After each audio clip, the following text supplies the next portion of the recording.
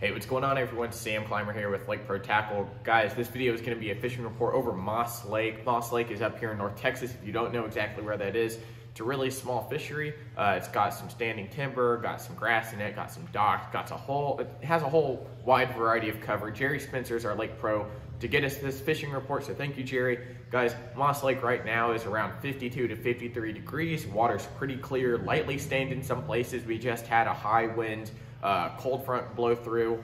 Um, guys, he said he was catching a lot of his fish on a half ounce Strike King structure jig, black and blue. He started off the morning throwing a 1.5 square bill and a quarter ounce um, Bill Lewis rattle trap. Didn't get too many bites on that, but the half ounce black and blue structure jig with a black and blue chunk seemed to be the deal on the docks. Now the docks hold fish all year round, but especially when it comes summertime and wintertime, those fish like to tuck up underneath them, have shade in the summertime, and those docks are generally a little bit warmer in the wintertime. So guys, if you're watching this on YouTube and you wanna see the exact lures that Jerry was using, head over to the website.